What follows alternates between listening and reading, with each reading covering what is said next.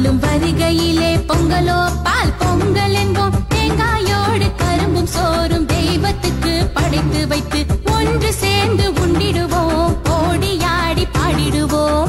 அனைவருக்கும் இனிய அட்வான்ஸ் பொங்கல் வாழ்த்துக்கள்.